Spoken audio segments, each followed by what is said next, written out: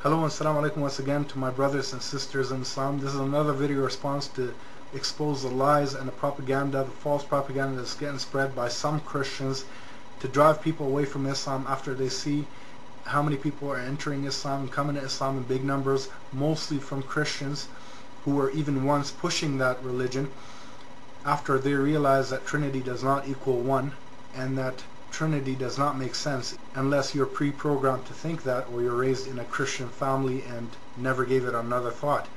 Now, they're doing that by, again I say, spreading false information about Islam and in some cases misinterpreting the verses and the hadith or the sayings of the Prophet peace be upon him. And believe me, they're doing that out of envy. And when I tell you out of envy, Trust me because Allah says in the Quran in chapter 2 verse 109 quite a number of the people of the book wish they can turn you back to infidelity after you have believed from selfish envy after the truth has become manifest unto them but forgive and overlook till God accomplishes his purpose for God has all power or God has power over all things. Now that's what Allah says in the Quran about them.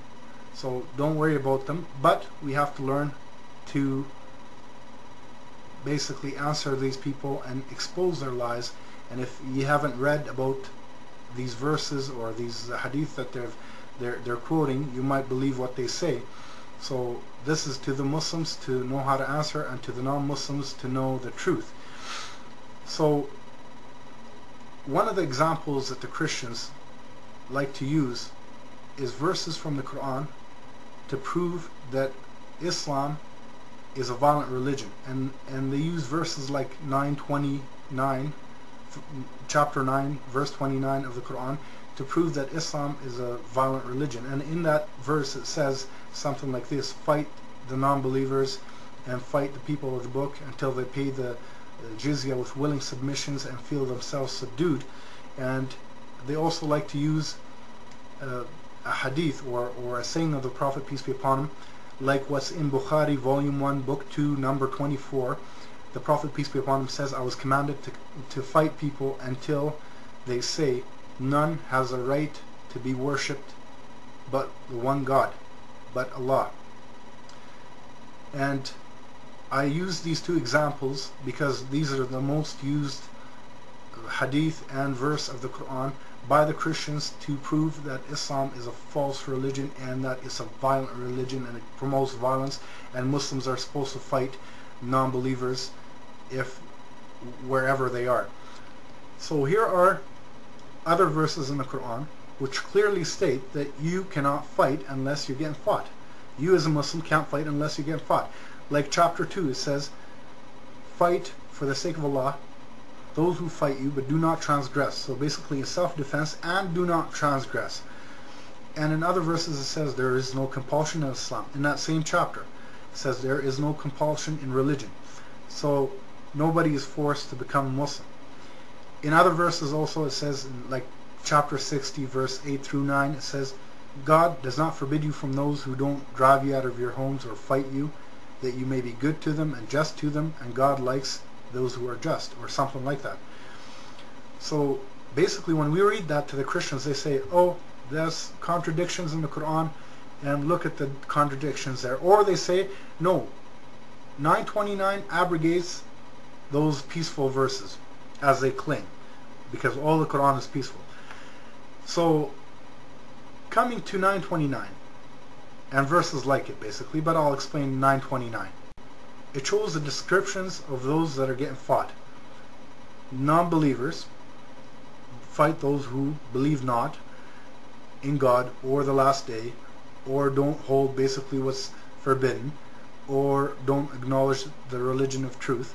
It's, it's showing you the descriptions of those. I'm going to give you an example. If there was a drug dealer that just stole a car, that just robbed a bank, in confrontation with the police, after doing all these crimes, can the police kill him? No, they can't. They can't kill him for, for stealing. They can put him away. But if that drug dealer shoots a cop, then the other cop says, shoot that drug dealer, shoot that thief, shoot that robber, he's he's given a description of that person, but the, that person had already committed a crime, which is what the Christians did. They killed the messenger of the Prophet, peace be upon him. And I'll come to explain this historically, and it's all written and documented in the Sirah of the Prophet, peace be upon him. It says that the Prophet, peace be upon him, sent a messenger.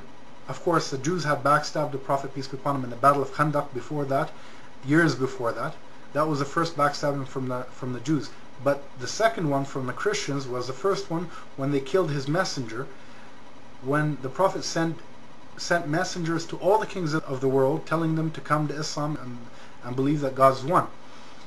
Some did, some didn't, but some killed the messengers, and the ones who killed were the Arab Christians. They killed the messengers, and they had alliance with the Roman Empire.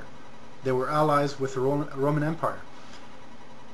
When they killed that messenger, they knew that Prophet Muhammad, peace be upon him, is going to retaliate. So they, they got an army together, and they even called for that backup army and, and their, their treaty to be fulfilled with the Roman Empire and send them the troops to help them. And there was 200,000 non-believers that went to Mu'tah, and the Prophet, peace be upon him, sent the only 3,000 soldiers, and believe me when I say that, it's all documented in Sirah, I'm not making this up. He sent only 3,000 soldiers to Mu'tah to confront them. He didn't know that they're going to be in these huge numbers. But even though the Muslims fought them for seven days and they retreated and only I think 70 of the 3,000 were killed and the, the Christians were amazed on how 3,000 would fight 200,000 and not be wiped off the face of the earth basically and the Romans were in so much shock they wanted to send other troops to confront the Prophet peace be upon him and the, the, that verse 929 was revealed telling the, the Muslims to fight those who have these bad descriptions, who have killed that messenger, and fight him again. And the Prophet, peace be upon him, sent his troops to Tabuk, which is another area, and that's where the, those verses were revealed. And, and he was amongst the soldiers at that time. But he had 30,000 troops at that time, and the Christians and the, and the Arab Christians and, and the Roman Empire they were they said if we couldn't beat the 3,000, how are we going to beat 30,000? And by the way, another thing that Christians always like to say is that Muslims, when they were weak, they didn't fight, but when they got strong, they, they started fighting, which is not true. Because the Muslims were never, ever the majority of, of any battle. Always the enemies were, were three times more, uh, as much as, uh, as the Muslims. And the Muslims, except in one battle, which was the battle of the conquest of Mecca, they were they were more and they were a lot more than the unorganized troops of of uh, Mecca. And that that was the only one. But when they lie and say that the Muslims were weak, they didn't fight, and when they became strong, they started fighting, that is a total lie. Now, to the hadith of the Prophet, peace be upon him, which also uh, I, I just picked one to explain it because if I sit there and explain all of them, I'm, I'm gonna I'm gonna be sitting here for uh, a whole week. In Bukhari, Volume One, Book Two, Number 24, the Prophet peace be upon him stated that